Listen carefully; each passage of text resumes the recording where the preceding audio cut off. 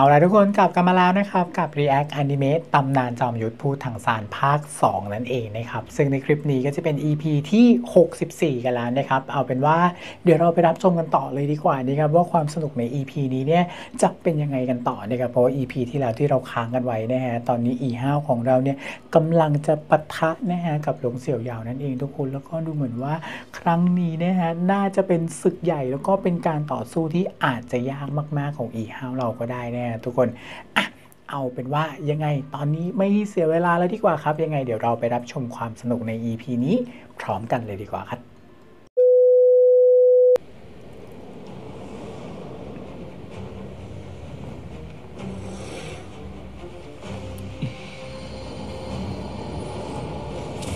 เฮ้ย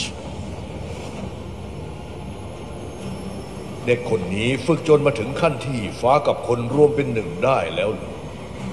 เขาสะสมพลังอย่าโกงนะ และเตรียมที่จะชนะเมื่อลงมือเพียงครั้งเดียว มาแล้วครับ มาแล้วครับ โอ้โหสองล่วงเกินแล้วเฮ้ยอืมเฮ้ยเปิดก่อนได้เปรียบใช่ไหมเฮ้ยอุ้ย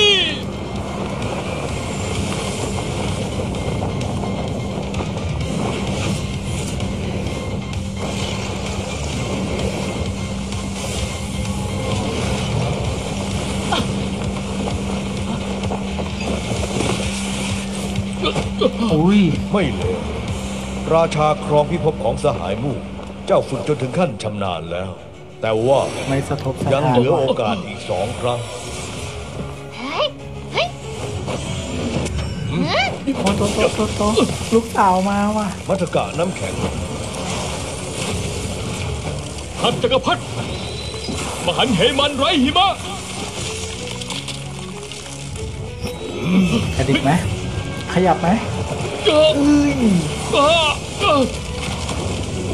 ระเบิดน้ำแข็ง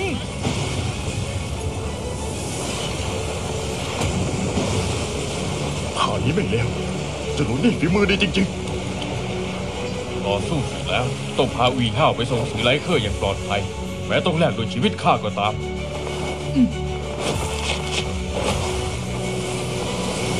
ไม่ขยับไม่ขยับ แค่กระตุก ยังเหลือการโจมตีครั้งสุดท้าย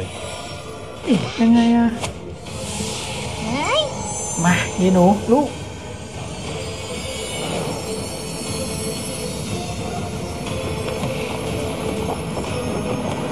โอ้ยผมสีเดียวกับหวังตรงดาว่ะบจักรพรรดิ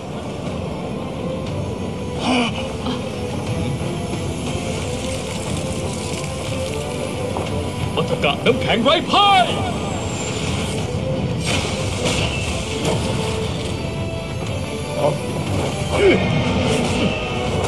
นั่นได้อยู่ ได้ หลวงเซียวเหยาขยับแล้ว ช่างน่าอัศจรรย์จริงอืมๆเฮ้ยเฮ้ย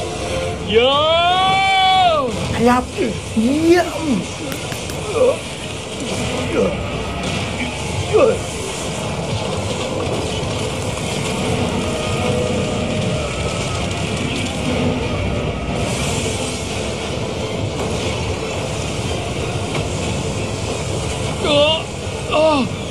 โหแต่มันแบบ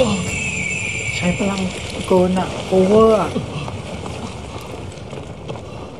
ชนะถือว่าชนะนะ ขยับ ข้าใช้วิญญาณยุทธ การเดิมพันนี้ข้าแพ้แล้วล่ะเยี่ยชาราชาคลองพิภพดึงดูดสายตาก่อน แล้วใช้มัทกะน้ำแข็งผนึกคู่ต่อสู้ กระบวนท่าสังหารคือดาบสุดท้าย อุ๋ยเฮากระบวนท่ายอดเยี่ยมจริง โชคดีที่ผู้อาวุโสหลงรักษาสัญญา ไม่งั้นวีห้าวคงตายไปแล้ว ขอบคุณพวกท่านที่ช่วยคุ้มครอง ข้าใช้สามกระบวนท่า แต่ว่าใช้พลังวิญญาณ พลังจิตจนหมด โชคดีที่ชนะได้ ไม่เหลืแต่อข้าสัมผัสได้ ว่าหลงเซียวเหยาสงวนพลังเอาไว้ ผู้อาวุโส จะปล่อยพวกเขาไปกันเหรอ ข้าพูดแล้วต้องรักษาคำพูด เยี่ยม หากเจ้าไม่ยอม ก็ไปสู้กับราชธินานามพรหมยุทธ์ทั้งสองได้ ไม่สิสามคนต่างหากฮะมีคนสแตนบายอยู่เหรอ กองหนุนมาแล้ว เย้ผมประยุทธ์เท่าเทียม อาจารย์ผู้อาวุโสเสวียนเอาดีมามาเจ้านี่เองอาจารย์เสียเรามาแล้วเนี่ยเหวียนจึง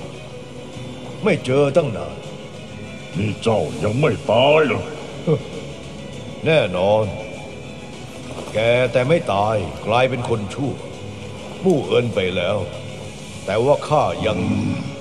ข้ายังไม่ตาย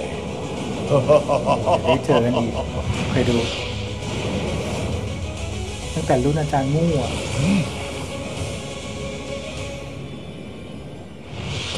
ผู้อาวุโสเสวียนไปเถอะเรารีบกลับกัน ไปครับ ชนะแล้วโล่งใจแล้วผู้อาวุโสเสวียนพรหมยุทธ์ราชามังกรผู้นั้นกับอาจารย์ มีเรื่องอะไรกันเหรอครับ ผู้อาวุโสมู่กับหลงเสี่ยวเหยาโด่งดังตั้งแต่หนุ่ม รู้จักกันในการแข่งขันประลองวิญญาณของโรงเรียนวิญญาจารย์ระดับสูงทั่วดินแดน คนหนึ่งมีวิญญาณยุทธมังกรศักดิ์สิทธิ์แห่งแสง อีกคนมีวิญญาณยุทธมังกรศักดิ์สิทธิ์แห่งความมืดสมัยได้ลุงฉาลุงยามาว่ามังกรศักดิ์สิทธิ์คู่ขาวดำในการแข่งขัน ว้าว ที่แท้อาจารย์ รู้จักกับหลวงเซียวเหยามานานแล้ว มีคนเดียวที่สู้กับเขาได้ในการแข่งขันครั้งนั้น คือวิญญาจารย์หญิงที่ชื่อว่าเย่ซีซุย จากนั้นทั้งสามกลายเป็นเพื่อนสนิทที่คุยได้ทุกเรื่องรักสามเศร้าอีกปะเพื่อนเนี่ยสนิทเหรอแต่ดูเหมือนหลวงเซียวเหยาจะเป็นศัตรูกับอาจารย์นะ สาเหตุก็มาจากวิญญาจารย์หญิง เย่ซีซุยผู้นั้น เย่ซีซูผู้อาวุโสมู่ไม่ได้เล่าอะไรมากนะข้ารู้แค่ว่า เป็นเพราะเย่ซีซุย ผู้อาวุโสมู่กับหลงเซียวเหยาเคยสู้กันสะเทือนฟ้าสะเทือนดินมาหลายครั้ง สุดท้าย ก็จะสู้กันเพราะผู้อาวุโสมู่ ได้ต่อสู้กับตูปี้สือเจ้าสำนักดั้งเดิมคนก่อน ได้รับบาดเจ็บจนไม่เหมือนเดิม นั่นเป็นเรื่องที่เกิดขึ้นหลายร้อยปีก่อน หลงเซียวเหยาก็หายตัวไปนับตั้งแต่ตอนนั้น แล้วเย่ซีสุยล่ะ เมื่อหนึ่งร้อยปีก่อน ก็เป็นอัครพรหมยุทธ์ที่สร้างความแตกตื่นทั่วแผ่นดิน จากนั้น จากนั้นหายตัวนางกลายเป็นวิญญาจารย์ปีศาจอ้าฮะปีศาจอีกแล้ว เราก็ถึงสื่อไลเคอร์แล้วแหละว้าว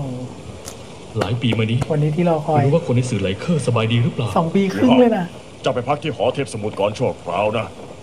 พอเสร็จกิจกรรมแล้วค่อยหาที่พักให้เจ้าอีกทีกิจกรรมเหรอถึงเวลาเจ้าก็รู้เองผู้อาวุโสเสวียนท่านผอครับข้าจะไปซื้อของฝากให้คนที่สื่อไลเคอร์ก่อน แล้วจะตามไปครับ เมืองสื่อไลเคอร์สื่อไลเคอร์ ข้ากลับมาแล้วแอมแบกอาวุธวิญญาณเก็บสิ่งของให้เป็นของขวัญเจ้าเข้าสำนักถัง อาจารย์เสี่ยวหยากลับมายังอะ สบายดีไหมนะหนังยานะ เดี๋ยวนี้จนจะลืมชื่อไปหมดแล้วนะสหายซื้ออะไรเครื่องเนี่ย แล้วเอ่อพี่เป้ยอาจารย์เสี่ยวหยาพี่เสี่ยวเถา ข้าจะหาพวกท่านให้เจอ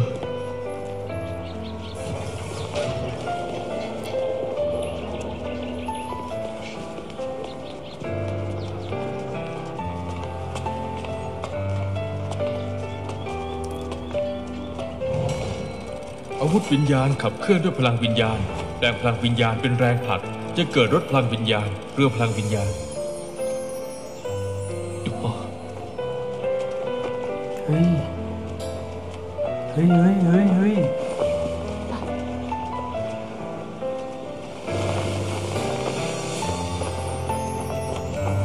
ใคร ใคร อะไรยังไง ทิ้งแมสเอาไว้เนี่ยอ๋อ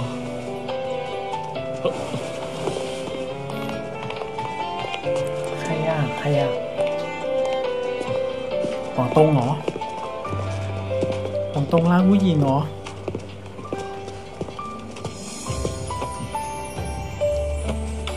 อ๋อเงินอยู่ข้างล่างขอโทษครับ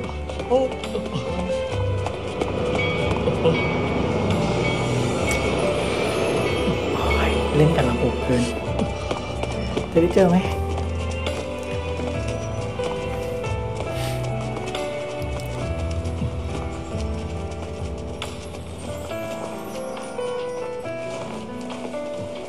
หวังชิวเอ๋อหวังชิวเอ๋อหวังตงเจ้ากลับสื่อไลเคอร์เมื่อไหร่ ไม่แน่นะ อาจได้เจอพี่สาวข้าก็ได้ หรือน่าจะเป็นพี่สาวหวังตงหวังชิวเอ๋อกลับก่อนแล้วกัน อยากพบกับหวังตงจะแย่อยู่แล้วพัตตาคารสื่อไหลเคอร์สวัสดีค่ะหึโรงเรียนสื่อไหลเคอร์ไปทางไหนคะอ๋อเดินไปตามถนนนี้ก็ถึงแล้วค่ะอะสวัสดี ไม่ใช่หวังตงว่ะ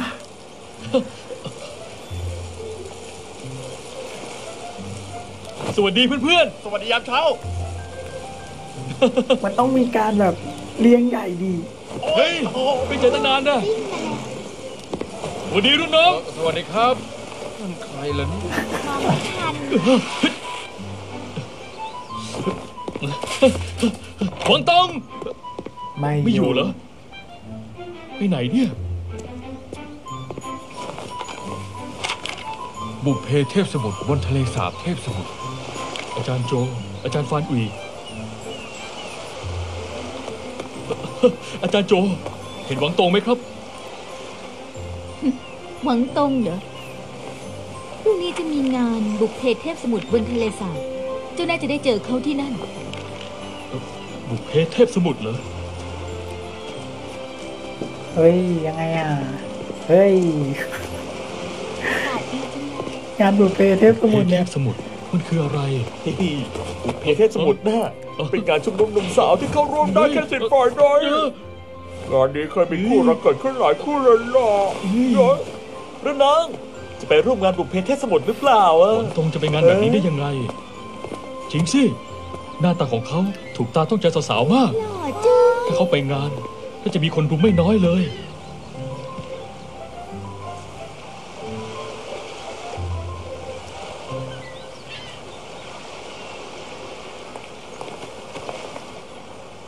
แล้วเฉินจะไปงานบุกเพหรือเปล่าอืมฮะ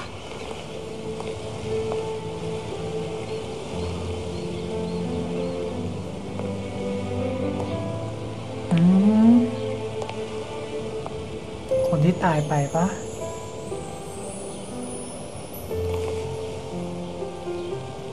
เหยาเฮาเสวียนเดี๋ยวเขาเสียน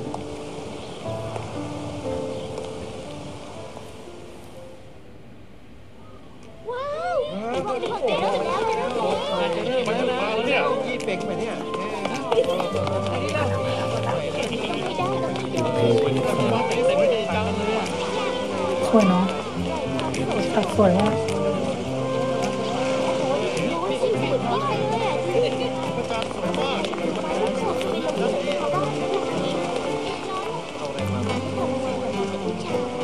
โอ้ยยังอยู่กันครบเลยนะ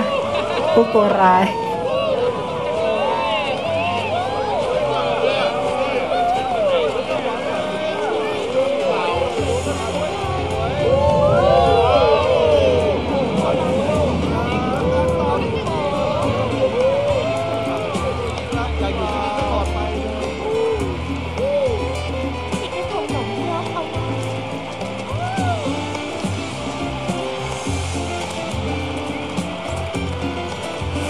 สวัสดีสาวหวังตงก็มาด้วยทำไมไม่เห็นหวังตงเลยไหนล่ะ นึกไม่ถึงแน่ว่าจะโผล่มาในรูปลักษณ์ไหนเนี่ยโอ้โอ้ยเฮ้ยเฮ้ยสิพี่รอมมาแล้วเหรอเอ้า ในงานบุกเพมีผู้ที่ข้าเลื่อมใสอยู่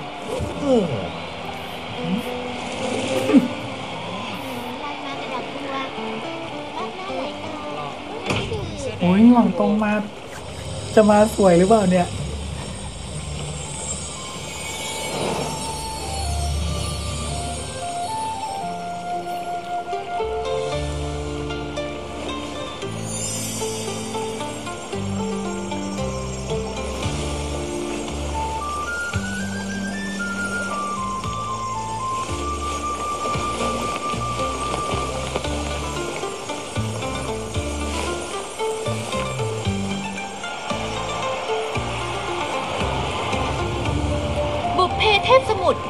บนทะเลสาบสื่อไหลเคอร์หมื่นปี บุพเพลิขิตรักถ้าเป็นพิธีกรในบุพเพเทพสมุทรนามซีซีซีซีข้าเป็นพิธีกรนาเป้ยเป้ยงานบุพเพเทพสมุทรเริ่มณบัดนี้ซีซีเป้ยเป้ยหลงเซียวเหยา พระอิสริยศักดิ์ราชามังจกบรอะพรหมยุทธสุดขีดจำกัดระดับ 99 มังกรศักดิ์สิทธิ์คู่ขาวดำ เอาละทุกคนจบไปเป็นที่เรียบร้อยแล้วนะครับสำหรับใน EP ที่ 64 นั่นเองนะฮะสำหรับการต่อสู้นะฮะระหว่างอีห้าวนะฮะแล้วก็หลงเซียวเหยาเนี่ยก็จบลงไปเป็นที่เรียบร้อยนะฮะทุกคนซึ่งตอนแรกเนี่ยแอบกังวลเหมือนกันนะว่าอีห้าวของเราเนี่ยอาจจะแพ้นะฮะในการประลองในครั้งนี้นะฮะแต่ด้วยความที่แบบงัดทุกอย่างที่ตัวเองมีนะฮะก็สามารถนะฮะเอาชนะหลงเซียวเหยาไปได้นะฮะก็ถือว่าเป็นการเอาตัวรอดไปได้ในตัวด้วยนะฮะเพราะว่าหลงเซียวเหยาเนี่ยให้คำมั่นสัญญาแล้วเนะครับว่าถ้าเกิดสามารถเอาชนะได้เนี่ยจะปล่อยอีฮาวแล้วก็อาจารย์ทั้งสองคนไปนั่นเองนะฮะแต่เรื่องราวของหลงเซียวเหยาเนี่ยฮะแล้วก็อาจารย์มู่ของเราเนี่ยก็ถือว่าเป็นเรื่องราวนะฮะที่ใหญ่โตเช่นกันนะฮะเพราะว่าทั้งสองคนเองเนี่ยเป็นถึงพรหมยุทธ์นะฮะทั้งฝ่ายขาวฝ่ายดำนะฮะทุกคนแล้วก็โอ้โหร่วมต่อสู้กันมานะฮะจนสุดท้ายเนี่ยก็มาเกิดการต่อสู้แตกหักครั้งใหญ่นะฮะซึ่งก็มียับยับนะว่าน่าจะเกี่ยวจากผู้หญิงคนหนึ่งนะฮะทุกคนซึ่งก็ไม่รู้ว่า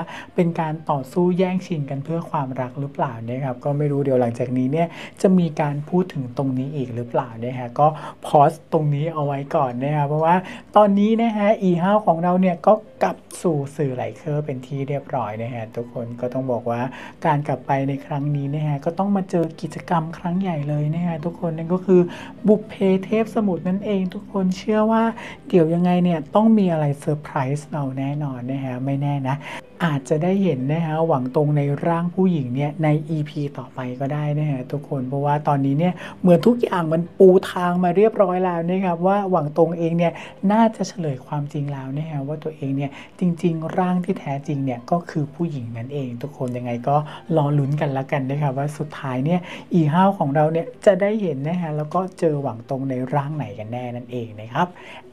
เอาเป็นว่าเดี๋ยวยังไง EP นี้จบเอาไว้เท่านี้ก่อนแล้วกันนะครับ แล้วเดี๋ยวเราไปติดตามกันต่อแล้วกันนะครับ ว่าใน EP ต่อไปเนี่ยเรื่องราวจะเป็นยังไงกันต่อนะครับ ถ้าอย่างนั้นเดี๋ยวไปรับชมกันต่อใน EP ต่อไปในคลิปหน้าเลยดีกว่าครับ